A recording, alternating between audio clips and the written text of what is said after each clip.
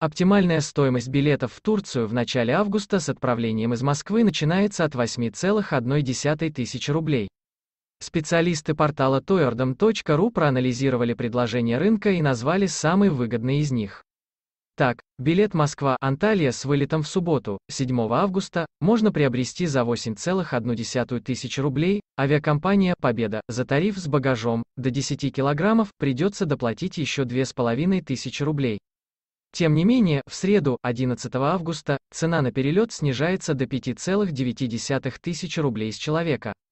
Эксперты напомнили, что бронирование билетов в конце июня, когда возобновилось авиасообщение между Россией и Турцией, обходилось существенно дороже. Так, уральские авиалинии предлагали перелет Москва-Анталия и обратно с 3 по 10 июля за 19 тысяч рублей, Победа – за 21,7 тысячи рублей. Сейчас же стоимость такого маршрута с 11 по 18 августа начинается от 12,2 тысяч рублей, доплата за багаж составляет 3,4 тысячи рублей. Самый бюджетный перелет из Санкт-Петербурга в Анталию предлагает авиакомпания AZUR Air. Возвратный билет с 11 по 18 августа можно купить за 19,3 тысяч рублей. Провоз багажа включен в стоимость. При этом в июле аналогичный перелет стоил на 10 тысяч дороже.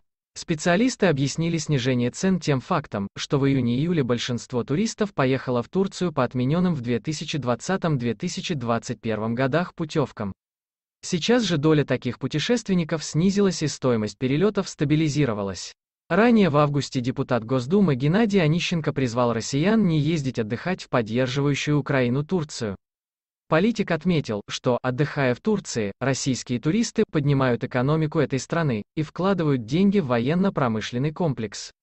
Бывший глава Роспотребнадзора заявил, что республика продает оружие Украине, которое грозится расстреливать беспилотниками Донбасс. Если видео было вам полезным, пожалуйста поставьте лайк и подпишитесь на наш канал.